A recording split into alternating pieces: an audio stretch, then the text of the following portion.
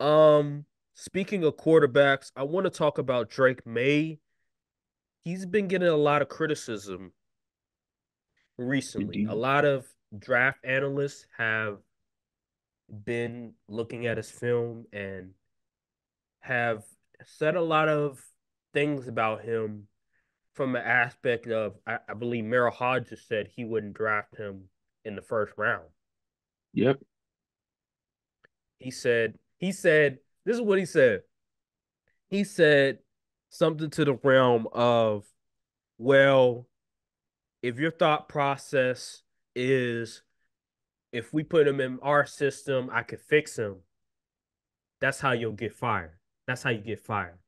And I think with Merril Hodges, because he's not the only person that that said that I wouldn't. Well, he not not to say that I wouldn't draft uh, Drake Maye in the first round, but but that they think that Drake Maye is QB three. Here, here's hmm. what I'll say about people like Merril Hodges that are like down on Drake Maye. I agree that Drake Maye has a lot of flaws and has a lot of things that he needs to clean up. They they always talk about his his feet. His fundamentals are very sloppy. Uh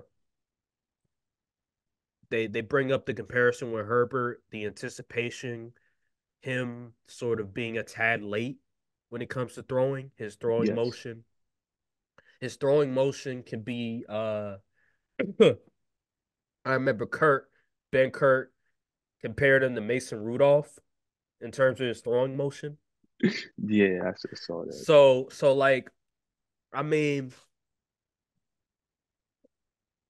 he he has his flaws. I, I agree. He has his flaws and he needs to clean some stuff up. But ultimately, I think he's a top five pick.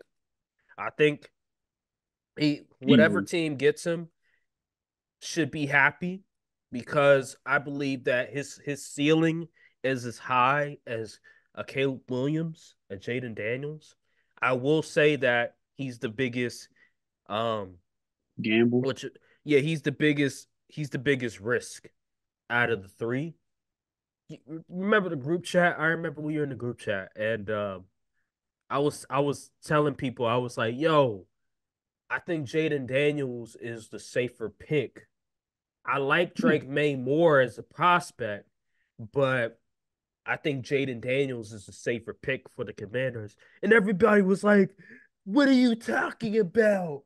Uh, how is Jayden Daniels the safer pick um over Drake Maye, And they look at his size they look at, oh, he only weighs 214. I'm like, come on now, bro. What does the tape? What does the tape say? And see, sometimes we'll be in the group chat and, and people will act dense to stuff. They'll act very dense. And just because more people agree, more people are against what you believe in doesn't mean that they're right. And so mm. these people that I will not name in our group chat that we are in was like, oh, Drake Maye, you know, they're super high on Drake Maye. And they're not very high except on one Commanders fan. Yeah, one, one Commanders like fans. He likes he likes Jayden Daniels or Drake Maye. But my thing is, is that in terms of like what what do you need from your QB right now when you draft them? I think the Commanders are not in a position where they can just have a QB sit for a year. I'll be shocked.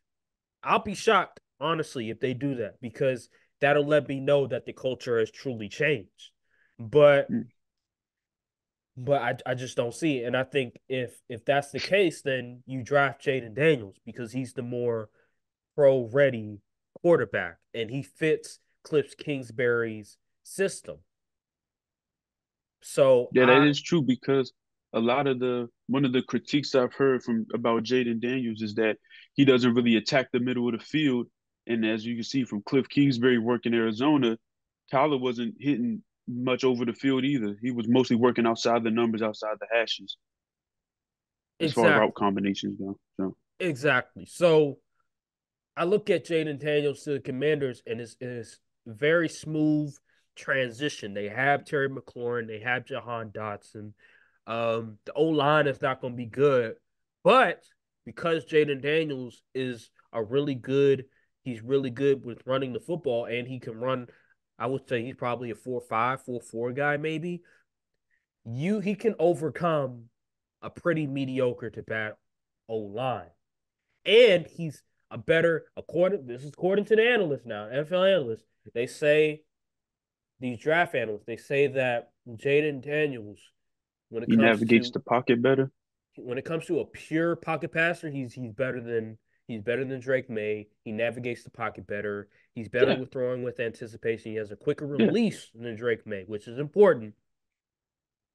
That's yeah. why they're so high on him, is because it's just some of the the tools that you need in order to be great in the league. He has that.